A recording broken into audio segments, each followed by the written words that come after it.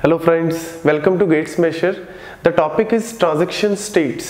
Means जब transaction execute होती है तो कौन कौन सी स्टेट्स में से पास होती है तो सबसे पहले अगर हम बात करें कि जब ट्रांजेक्शन बिगिन होती है तो वो बाय डिफ़ॉल्ट किस स्टेट में आ जाएगी एक्टिव स्टेट में एक्टिव स्टेट का मतलब क्या है कि अभी तो पैसिव स्टेट में एक ट्रांजेक्शन जैसे ही हम उसको एग्जीक्यूट करने लगते हैं, वो किस स्टेट में आ जाएगी? एक्टिव स्टेट में। अगर हम बात करें इसको ऑपरेटिंग सिस्टम की टर्म में भी अगर मैं आपको बताऊँ तो ऑपरेटिंग सिस्टम में हम बोलते हैं प्रोग्राम जैसे हमने एक प्रोग्राम लिखा सी में कोई प्रोग्राम लिखा या सी प्लस प्लस में प्रोग्राम लिखा, हमने उसको सेव कर दिया। तो वो प्रोग्राम कहाँ पड़ा है? हार्ड डिस्क में पड़ा है। आराम से आइडल स्टेट में पड़ा है। लेकिन जैसे ही हम उसको एग्जीक्यूट करेंगे, जैसे ही हम उसको कंपाइल करेंगे, वो रैम के अंदर आ जाएगा और उसको हम बोलते हैं एक्टिव स्टेट तो वही सेम कॉन्सेप्ट यहाँ पे है। जब आप ट्रांजेक्शन कुछ नहीं कर रहे तो बाय डिफ़ॉल्ट ट्रांजेक्शन क्या है? पैसिव स्टेट में है। लेकिन जैसे ही आपने उसको स्टार्ट किया, वो एक्टिव स्टेट में आ जाएगी। और एक्टिव स्टेट का मतलब क्या है? सबसे पहले आपको ये आर्किटेक्चर समझना पड़ेगा। क्योंकि आपको जितना भी मटेरियल इसके ऊपर मिलेगा ट्रांजेक्शन स्टेट्स के ऊपर, वो आपको नॉर्मल बताएँगे कि एक्टिव स्टेट है, ये स्टेट है, ये स्टेट ऐसे ऐसे स्टेट्स में। वो थियोरेटिकल कॉन्सेप्ट है। लेकिन एक्चुअल में मैं आपको रियल लाइफ एग्ज़ाम्पल से कंपेयर करके बताता हूँ कि कैसे ट्रांजेक्शन कैसे कैसे स्टेट्स में से क्रॉस होती है। तो उसके लिए पहले आपको ये आर्किटेक्चर देखना पड़ेगा कि सीपीयू और हार्ड डिस्क हार्ड डिस्क क्या? जहाँ पे सारा डेटा, सारा का सारा डेटा आपका परमानेंट स्टोर्ड है। सीपीयू जब भी कोई डेटा को एग्जीक्यूट करता है, जब भी कोई ट्रांजेक्शन को एग्जीक्यूट करता है तो ट्रांजेक्शन को एग्जीक्यूट करने के लिए उसको क्या चाहिए? डेटा चाहिए। और वो डेटा कहाँ पड़ा है? हार्ड डिस्क में पड़ा है।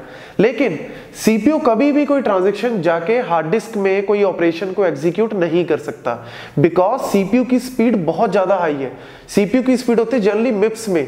मिलियन इंस्ट्रक्शंस पर सेकेंड और हार्ड डिस्क बहुत ही स्लो है। हार्ड डिस्क 10 20 इंस्ट्रक्शंस करती है।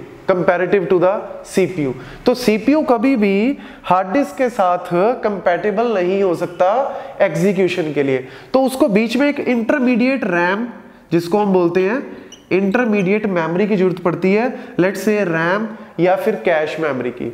तो उससे क्या होगा? हमें यहाँ पे स्पीड मिलेगी। सीपीयू बोलेगा, मुझे ये डेटा चाहिए।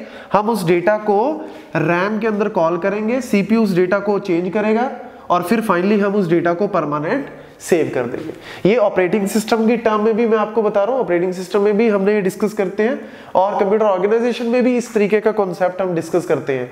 लेकिन एक्चुअल में यही कॉन्सेप्ट ट्रांजेक्शन में भी यूज़ होता है। तो वही अब मैं आपको कंपेयर करता हूँ एक्टिव स्टेट एक्टिव स्टेट का मतलब क्या है कि सीपीयू किसी ट्रांजेक्शन को एग्जीक्यूट कर रहा है। ऑब्वियसली सीपीयू ही करेगा बिकॉज़ सीपीयू के अंदर क्या है? ALU arithmetic logical unit. तो अर्थमेटिक लॉजिकल यूनिट करता क्या है? कोई भी ट्रांजेक्शन को एग्जीक्यूट करने का मतलब है, अब उसमें कुछ प्लस, माइनस, मल्टीप्लीकेशन, कुछ ऑपरेशन परफॉर्म करने हैं। तो वो ऑपरेशन सीपीयू परफॉर्म करेगा। लेकिन एक्टिव स्टेट का मतलब है कि डेटा को हमने कहा कॉल कर लिया? रैम के अंदर, फास्टर मेमोरी के अंदर कॉल कर लिया। अब उसको हम बोल रहे हैं एक्टिव स्टेट। अब सीपीयू उसको एग्जीक्यूट कर रहा है। और सीपीयू ट्रांजेक्शन के अंदर हम कौन कौन से ऑपरेशन परफॉर्म करते हैं? Read operation write operation these are the two major operation that we perform तो रीड का मतलब है डेटाबेस से परमानेंट डेटाबेस से हमने रीड कर लिया। अब राइट का मतलब हम उसमें कुछ चेंज कर रहे हैं। कुछ plus minus multiplication division whatever the operation we are performing अब हम उसमें कुछ चेंज कर रहे हैं। तो जब हमने ऑपरेशन परफॉर्म किए let say read of A किया A is equal to A minus fifty किया राइट ऑफ़ ए किया रीड ऑफ़ बी किया, बहुत सारे ऑपरेशन हम परफॉर्म कर रहे हैं। जब वो सारे ऑपरेशन परफॉर्म हो जाएँगे तो लास्ट में एक ऑपरेशन होता है commit when all the operation get completed तो लास्ट में हम ऑपरेशन लिखते हैं कमिट तो यहाँ पे पार्शली कमिट का मतलब क्या है कि आप ऑपरेशंस को परफॉर्म कर रहे हो, आपने सारे ऑपरेशंस परफॉर्म कर लिए, सिर्फ़ एक ऑपरेशन बचा कौन सा? कमिट अगर आपकी ट्रांजेक्शन में एन नंबर ऑफ़ ऑपरेशन है तो आपने एन माइनस वन ऑपरेशन को परफॉर्म कर लिया बिकॉज़ एनथ ऑपरेशन कौन सा है? कॉमिट तो जब आपने सारे ऑपरेशन परफॉर्म कर लिए अपने एंड पे, हम उसको बोलते हैं पार्शली कमिटेड पार्शली कमिटेड में आपने क्या किया? कुछ चेंज कर दिया, कुछ मल्टीप्लीकेशन कर दी, सारे ऑपरेशन परफॉर्म कर दिए। अब ट्रांजेक्शन पार्शली कमिटेड स्टेट में है। लेकिन अभी उसमें डेटाबेस में हमने कोई चेंज नहीं किया। डेटाबेस में नहीं, ये सारे के सारे चेंजेस कहाँ प्रेजेंट है? रैम के अंदर। लोकल मेमोरी के अंदर या शेयर्ड मेमोरी के अंदर प्रेजेंट है ये सारे के सारे चेंजेस तो फाइनल में हम लिखते हैं कमिट जो एनथ ऑपरेशन की मैं बात कर रहा हूँ, वो फाइनल क्या है? कमिट तो कमिट करने का मतलब है, जितने भी चेंजेस यहाँ पे आपने किए, वो सारे के सारे चेंजेस अब हार्ड डिस्क में सेव कर दो। जब हार्ड डिस्क में सेव कर दिए परमानेंट सेव हो गए तो यहाँ पे कमिट में हम किसकी बात करते हैं? हार्ड डिस्क की। पार्शियली कमिटेड में हम किस मेमोरी की बात करते हैं? जनरली रैम की। और एक्टिव स्टेट में भी हम किस मेमोरी की बात करते हैं? जनरली रैम की। क्योंकि ट्रांजैक्शन कहाँ चल रही है? रैम के अंदर। कहाँ चेंजेस सेव है? रैम के अंदर। लेकिन जैसे ही कमिट कर दिए, सारे के सारे चेंजेस कहाँ हो गए? हार्ड डिस्क के अंदर। जब आपने सारे के सारे चेंजेस परफॉर्म कर दिए मेमोरी फ्री करो। डी एलोकेशन डी एलोकेशन का मतलब है टर्मिनेशन तो जितना भी उसने रिसोर्सिस को लेके बैठा है रिसोर्सिस कौन कौन से हो सकते हैं? ऑब्वियस ही बात है, हमारे पास हर ट्रांजेक्शन के लिए डेडिकेटेड रिसोर्स नहीं है। पूरी दुनिया में एक दिन में एक ट्रिलियन से ज़्यादा ट्रांजेक्शन होती हैं तो हर ट्रांजेक्शन के लिए एक डेडिकेटेड रिसोर्स नहीं हो सकता। तो वो वही रिसोर्सेज को शेयरेबल मोड में यूज़ करते हैं। पहले मैं यूज़ कर रहा हूँ, फिर तुम यूज़ कर लो, फिर वो यूज़ करेगा, इस तरीके से। तो जितने भी रिसोर्सेज हैं, चाहे वो सीपीयू है रैम है, या फिर रजिस्टर्स हैं बैंडविड्थ है नेटवर्क है, जितने भी रिसोर्सेज है, वो सारे के रिसोर्सेज सारे के सारे रिसोर्सेज हम उससे फ्री कर देंगे डी एलोकेशन कर देंगे। और फिर किसको देंगे? किसी और को देंगे। बिकॉज़ ये सारे रिसोर्सेज लिमिटेड है। किसी के कोई ऐसा नहीं कि एक ट्रांजेक्शन रख के बैठे कि बस मैं ही रख लूँ और जब मैं दूसरी बार आऊँगा तो मैं दोबारा यूज़ कर लूँगा। नो जब तेरी ट्रांजेक्शन कंप्लीट सारे के सारे रिसोर्सेज ऑपरेटिंग सिस्टम की रिस्पॉन्सिबिलिटी है ये। ऑपरेटिंग सिस्टम सारे के सारे जो रिसोर्सेज हैं वो वापस ले लेता है। तो टर्मिनेशन इज़ दैट तो टर्मिनेशन का मतलब है डी एलोकेशन सारे रिसोर्सेज वापस ले लो। अब हम बात करते हैं यहाँ पे फेल्ड एक्टिव हो गया पार्शली कमिट एंड टर्मिनेशन लेकिन यहाँ पे फेल्ड फेल्ड का मतलब है, कोई भी सिस्टम 100% फुल प्रूफ नहीं हो सकता. कभी भी कोई ना कोई एरर रखकर हो सकती है. पावर फेलियर हो गया. कोई आउटेज अक्कर हो गई, कोई लाइक स्विच खराब हो गया राउटर खराब हो गए, आग लग गई मतलब बहुत सारे डिफरेंट डिफरेंट टाइप के आउटेजेस अक्कर हो सकते हैं। आउटेज मतलब कोई भी प्रॉब्लम अक्कर हो गई। तो इन केस आपकी आपका जो ट्रांजेक्शन है वो चल रही थी, लेकिन बीच में पावर फेलियर हो गया, या लेट से बीच में आपका जो वायर कनेक्शन जो था कनेक्शन टूट गया, जो भी प्रॉब्लम आई, उस प्रॉब्लम की वजह से आपकी ट्रांजेक्शन जो है वो क्या हो गई? फेल हो गई। तो अगर ट्रांजेक्शन फेल हो गई तो वो किस स्टेट में फेल हो सकती है? एक्टिव स्टेट में। मतलब अभी स्टार्ट किया था और पहले ऑपरेशन के अंदर ही फेल हो गई।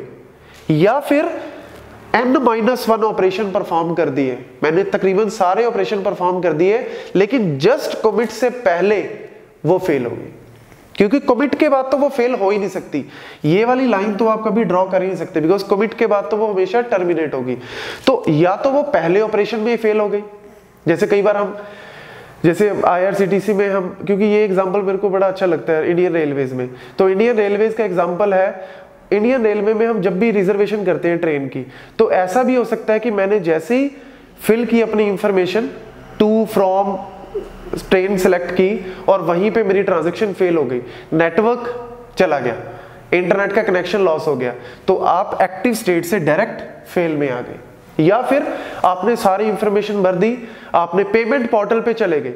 पेमेंट पोर्टल पे जाने के बाद आपने जैसे ही पेमेंट की, पूरा N N minus one operation तक पहुँच गए। ओटीपी भी एंटर कर दिया, लेकिन जैसे ही ओटीपी एंटर किया, क्या आता है? वो एक नया, एक नेक्स्ट पेज में क्या लिखा आता है कि डोंट प्रेस बैक बटन या रिफ्रेश मत करें। लेकिन जैसे ही आपने गलती से रिफ्रेश कर दिया या बैक बटन प्रेस कर दिया ट्रांजैक्शन वहीं के वहीं क्या हो जाएगी? फेल तो आपकी ट्रांजेक्शन टोटली हो चुकी थी, बस एन माइनस वन तक हो चुकी थी, सिर्फ़ लास्ट ऑपरेशन रह गया था कमिट लेकिन उस स्टेट में आपने जैसे ही रिफ्रेश या बैक बटन दबाया, साथ ही साथ आपकी ट्रांजेक्शन क्या हो गई? फेल हो गई. तो फेल होने का मतलब हमने प्रॉपर्टीज़ में देखा था एटोमिसिटी या तो पूरी होगी, या पूरी की पूरी रोल बैक तो इस केस में मुझे फेल्ड ट्रांजेक्शन को रोल बैक करना पड़ेगा या अबॉर्ट करना पड़ेगा? अबॉर्ट का मतलब हम उसको एक तरह से किल कर रहे हैं। जब किल करेंगे तो उसको हम क्या करेंगे? रीस्टार्ट करेंगे। कब? इन द नियर फ्यूचर कभी भी ट्रांजेक्शन जो फेल हो गई, जो फेल्ड ट्रांजेक्शन को आप कभी भी एक्टिव स्टेट में डायरेक्ट नहीं ले जा सकते, ना ही आप फेल्ड स्टेट को कभी पार्शली में ले जा सकते हो। वो फेल्ड के बाद हमेशा एबॉट होगी। एबॉट का मतलब है रीस्टार्ट क्या आप रिज्यूम कर सकते हो? नॉट एट ऑल कभी भी कोई फेल्ड ट्रांजेक्शन रिज्यूम नहीं होगी। वो हमेशा रीस्टार्ट होगी। बिकॉज़ रिकवरी मैनेजर क्या करेगा ना?